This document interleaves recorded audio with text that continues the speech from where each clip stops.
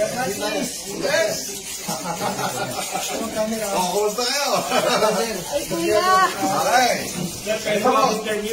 Ah, ikaw muna. Ako muna yung magsasalita, no? Ah, Una-una. Ah, Dali, sir, dali, sir. Sandali muna, sandali. Okay. Ah, papasalamatan ko muna si Sir Vic Lorenzo. Ah, pumasyal siya kasi meron akong complaint dito. Ako yung may complaint. Ah, may complaint ako sa kanila eh. Nag-email ako ilang beses because of the proliferation of fake account. Ngayon, sabi niya, sir, meron ng warrant of arrest dito. Violation of RA 8050. Violation of RA 8050 is anti-optometry law. Noong 2010 mo yan sa Baguio.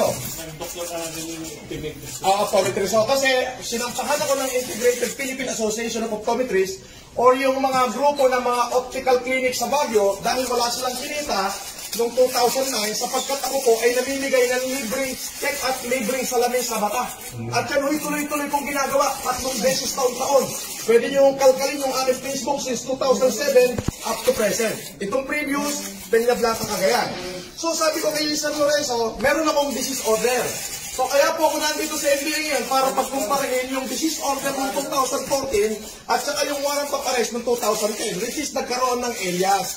So para hindi na ho ito magtagal, sabi ko sige mag-bail na lang huli ako para matapos na to, wala namang problema. Yung pong violation of RA 8050, kaya po ako nawaran yan dahil po sa pagmamahal ko sa mamamayang Pilipino.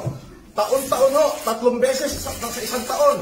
Basta kumita ako, nagbibigay po ako ng Optimum Eye Care Program sa lahat ng ating mga kababayan, Luzon, Visayas, Mindanao, nakarating ako ng Maguindanao, nakarating ako ng Cagayan, dulo ng Pilipinas. Ako po, wala po akong uh, ginawang uh, hindi maganda. Puro pagtulong lamang ko sa ating mga mamamayan.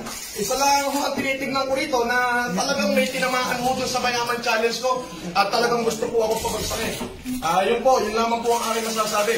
Ah, maraming maraming